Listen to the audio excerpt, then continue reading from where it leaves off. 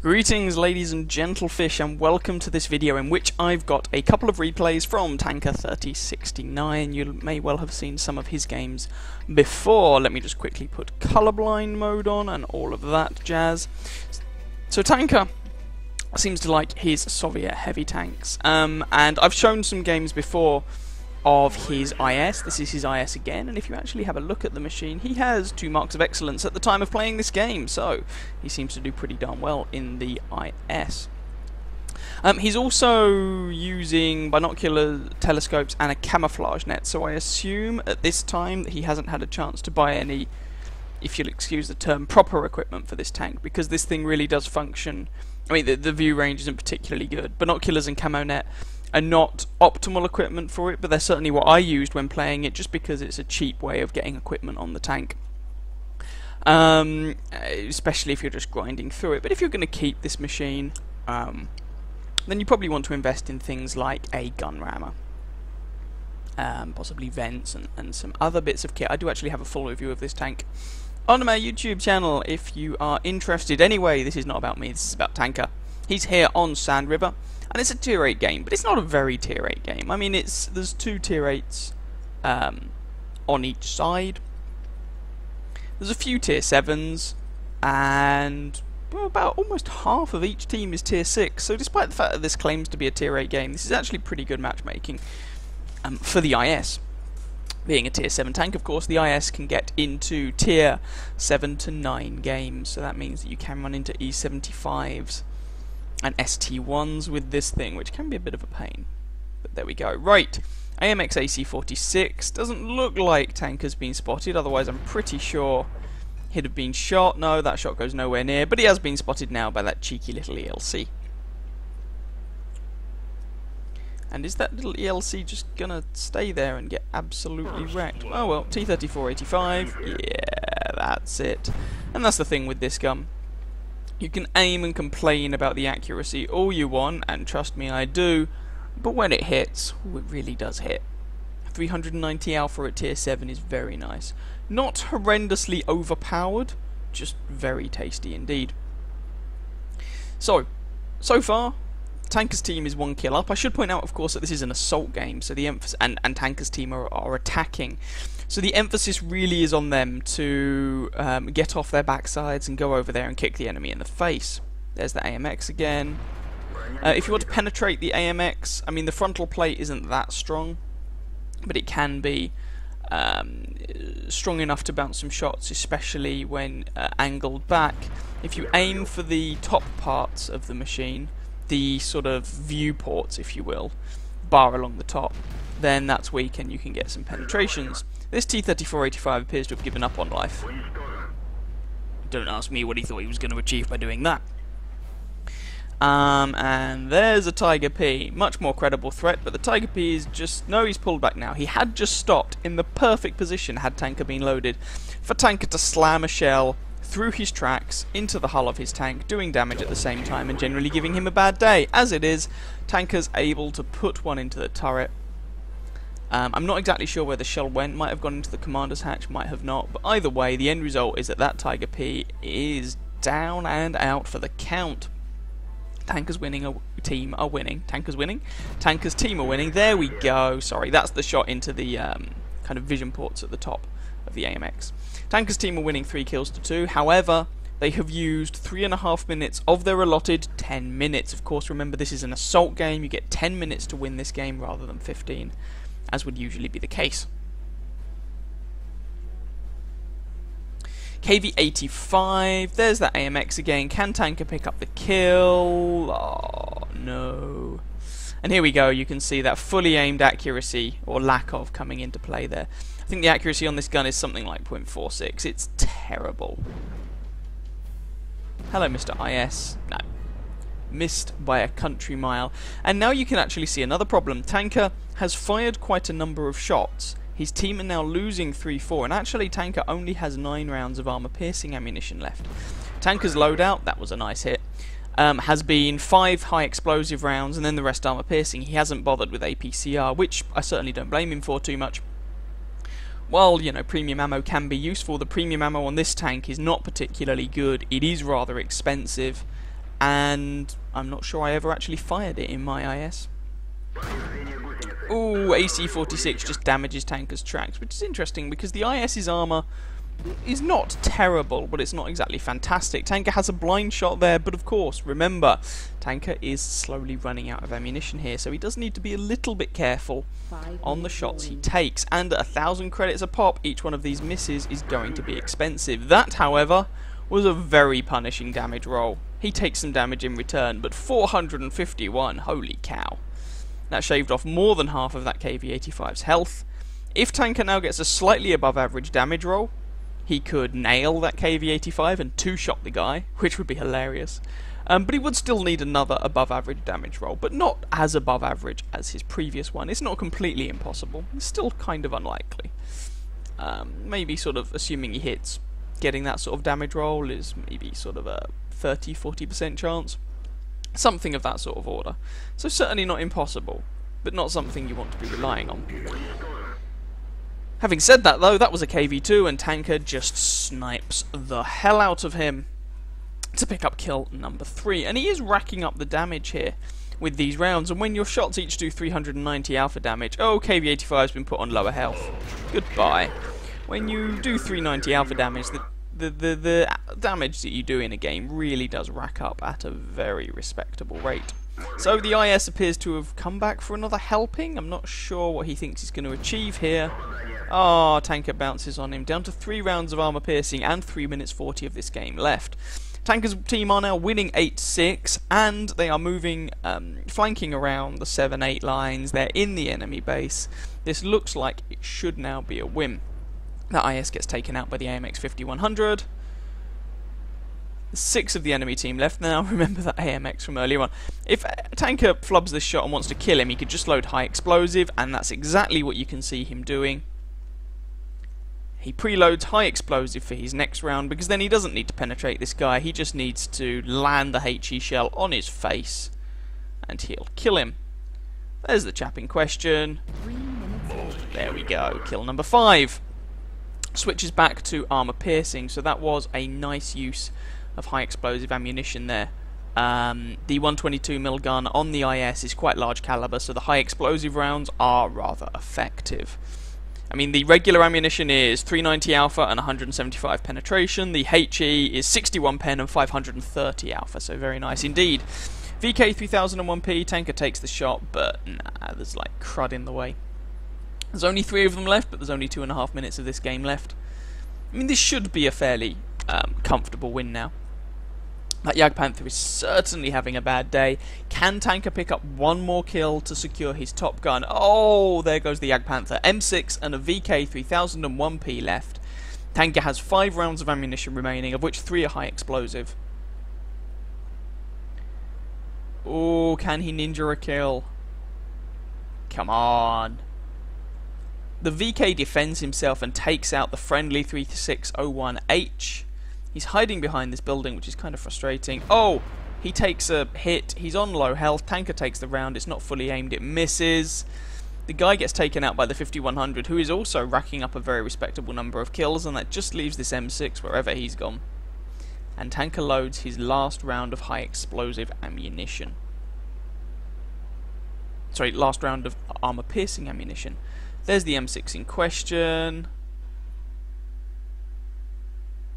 Tanker aims. Fires a shot, another high damage roll to take off most of the health of this guy. And this guy is having a bad, bad day. Can high explosive do the job? Oh, 167. That leaves the guy on 108 health. And the friendly VK picks up the kill. Ah, Tanker wasn't able to get his top gun. But nonetheless, he did manage to rack up a very nice amount of damage there. And you saw how hard the IS's gun hits, but also how unreliable it can be. Um, and that sometimes you do actually have to be careful of the ammo count, especially if you're taking relatively speculative shots at anything other than point blank to mid range, which Tanker was there a few times. Anyway, let's go and have a look at the post battle results and see how well he did. So as we can see, that was an ace tanker for tanker. Way too many tankers in that. Um, fighter, duelist, and fire for effect, and a high caliber medal. He got 3,513 damage, 5 kills, 1313 base experience, coming at the top of his team. The friendly Cromwell also put in a fairly respectable showing. The enemy team, well, the highest damaging guy on the enemy team was the Jagdpanther with 2756 uh, damage done. But the guy with the highest base experience on the enemy team was that Type 59, who Tanker never really saw with just under 2000 damage done. 21 shots fired, 15 hits, 12 penetrations for 3,513 damage. You won't usually have to fire that many rounds to rack up 3,500 damage in the IS, but some of those shots were at relatively long range. Tanker also blocked 1,120 damage with his armour and assisted for 644. Now, he made 43,000 credits, but remember those ammunition costs at something of the order of a thousand credits a shell. The high explosive ammo will be slightly different. Tanker spent over 20,000 credits on ammunition, meaning that he only made a 19,000 credit profit without a premium account, which is still very respectable. Um, but if some more of those shots had hit, or he hadn't had to take some of those shots at longer ranges, that probably would have, or that would have uh, improved his credit margin. With a premium account, that would have been a 40,000 credit profit. So a nice little game to kick things off with there from Tanker. We're going to have another game from him again in the IS and see how that one goes. Here we go with game number two. This time Tanker is top tier, and we are on another sandy desert map. This is, of course, El Haluf. And this is an encounter game on El Haluf, so we have the single capture point that both teams are attempting to contest and take control of. Well, I say they're attempting to take control of it. Most of the time, you're attempting to kill the enemy team and just prevent them taking control of the capture circle. You know, if you just go and drive into the capture circle, in most situations, in most games, most of the time, you're probably going to get shot up, die, and lose. So this is El Haluf, of course, as I mentioned, and if you're driving a heavy tank on El Haluf, usually there's kind of one spot that you sort of tend to go to, or one area up into this top left-hand corner. Now, interestingly, this game has absolutely no artillery in it. Um, I can't actually remember if there was artillery in the previous game, possibly not. Um, but heavy tanks generally are quite happy when there's no artillery, though the IS doesn't care as much as some machines, it's relatively mobile. Usually you find that a light tank or something like that will rush into the capture circle. This time it's the enemy Jagdpanther, which I was not expecting, but there we go. How bold is this Jagdpanther going to be? That's a terrible shot. He pokes his nose out, decides, you know what, actually, nah, I don't like them odds, and backs off, which is eminently sensible of him. There's a friendly Cromwell also in the capture circle, so that cap counter is not going to be up, going up any further while those guys are alive. Now, this is where you tend to find the heavy tanks congregate on this map. Up in this corner, and they tend to have a bit of a close range. Fisticuff fight, can sometimes get a little bit wrecked by artillery depending on where they are, but as I mentioned in this game, there is no artillery, so we don't have to worry about that. And as a top tier tank, Tanker really can get stuck in, and this gun can do an awful lot of damage, and there we go. Who needs to aim? Snapshot, on the move, wrecks the M6, KV-85 pops around the corner and just blows Tanker's tracks off. Hello, other KV-85. Or is that the same one? No, that's another one. KV-85 pops over the top. He does not have gun depression, so he had to reveal an awful lot of his tank to do that. And he engages the other IS on Tanker's team, and Tanker executes him for his troubles. So what's around the corner? Well, there's an IS on the enemy team. Hurrah, we're just meeting all the Soviet tanks here today, apparently. IS takes a hit, IS also fires, so Tanker can come round, plonk a shot into him, set the guy on fire. Apparently fire extinguishers aren't in this season, all the guy's reactions are kinda naff. And Tanker manages to roast the guy for 773 in total. Ouch. And this, ladies and gentlemen, is why you take a fire extinguisher on your Soviet tanks. KV-85 has fired. He's not a one-shot for Tanker, but Tanker has this friendly Tiger as well. Never mind. T-150 takes a hit from Tanker. Tiger executes him. And then the KV-85 is using the 100mm gun and just gets completely annihilated. Another enemy IS is over on Tanker's right. Now, they have, the enemy team, this is, have dealt with the Cromwell, the friendly Cromwell who was in the capture circle. So, the um, cap counter is now going up. Tanker bounces a shot there. You do sometimes find uh, tank destroyers camping back there where that Jagdpanther is. And of course, in this situation, there are quite a lot of tank destroyers on the enemy team. So, Tanker does need to be careful. This is risky. Doesn't bother fully aiming, just takes the shot and shaves 400 health off of that Jagdpanther. Now, Tanker's moving over to this rock, meaning that he's covered from those tank destroyers. The Jagdpanther is now dead, and the IS is not looking at him and is now also dead. So actually, Tanker took minimal damage there. That sort of maneuver with this number of tank destroyers on the enemy team usually ends in an awful lot of pain. In this case, however, Tanker was able to avoid the worst of the fire. He does, however, take a round there from, I think it's one of the Hellcats who hit him. So, Jagdpanther 4, Hellcat. Hellcat, now the IS does not have fantastic gun depression. It's workable, but it's not great. Um, but he does manage to plonk around into that Hellcat, leaving the Hellcat on very little health. And these sort of close range engagements where you don't have to spend too long aiming, that's really where the IS excels. Kill number 3, as one of those other Hellcats, Mr. Iggy gets taken down by a friendly M6. This Hellcat is still alive, Tanker can take this guy out even if he has to take a 90mm round to the face for his troubles, and he does so. T-34-85 is coming up behind him. There's just this guy and then the T25-2 remaining. So, this game is looking like it should be in the bag, but let's not discount the enemies just yet. That T25-2 is a top tier tank destroyer, even if it's a machine a lot of people don't like. That's the second fire that tank has had in this game, and the second fire that's led to a kill managing to nail that T-34-85. That just leaves this T-25-2 somewhere. We don't know where. So, Let's go and find him. Oh wait, there he is. Dude has been found and is taking damage to the face. He manages to kill a friendly M6 though. Now, this is 5v1, so this is a potential Kolobanov's medal for only death itself in the T25-2. He's already racked up 5 kills, so let's not treat this guy as a complete imbecile, but he could have done without taking that shot to the face. This leaves him in one-shot territory for Tanker, for the KV-85, potential one-shot territory for the VK, one-shot territory for the Hellcat, and it depends what gun the KV's using. If the KV's using the Howitzer, one-shot territory for him. Tanker takes the round from the T-25 there. T-25 is not fast enough backing off, and good night Vienna. That's kill number six.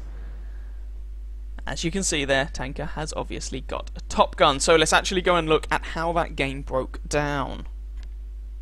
So, Tanker got, well, an ace tanker, fire for effect, arsonist, he actually got that twice, duelist, hand of god, and bruiser. High caliber and a top gun. Now he was a little bit lucky in parts, you know, I'm thinking in particular of those fires.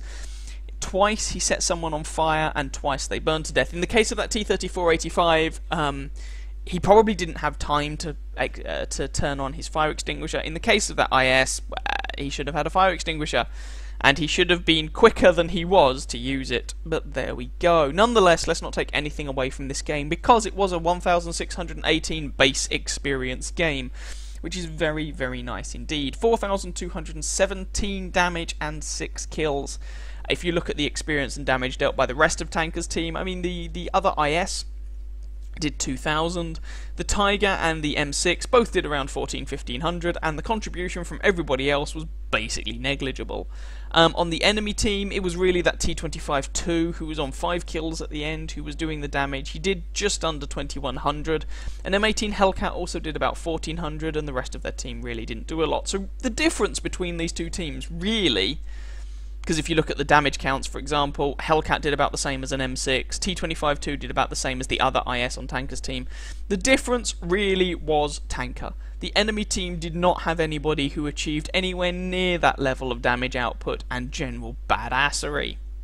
So that game was closer than it perhaps looked because Tanker did so much on his own. 13 shots fired, 13 hits, 12 penetrations. That's the sort of thing you can do in a close range fight with the Soviet 122mm guns. He only blocked 615 damage with his armor. The armor on the IS is not fantastic. Spotted three enemy tanks, damaged 10 of them, that's two thirds of the enemy team, of which he killed six and got 390 assistance damage, but this game was really not about the assisting. 70, well, with a standard account it would have been a 49,000 credit uh, gross income for a 28,000 credit profit. Tanker was running a premium account at the time, so that was actually basically 74,000 credits for a 53,000 credit profit. So a very profitable game on top of that. I hope you guys enjoyed that pair of replays courtesy of Tanker 3069. If you did, by all means go and catch some of my other videos. I have some other replays from Tanker as well, uh, driving such machines as, well, the IS, as you've seen here. Um, he features in one of my games, in which he's also in his IS, um, where I'm in my Super Pershing, and uh, another game or two of his where he's driving his IS-3, if memory serves. So, by all means, go and check those out. Um, and I wish you very, very happy hunting on that battlefield. Ciao, ciao.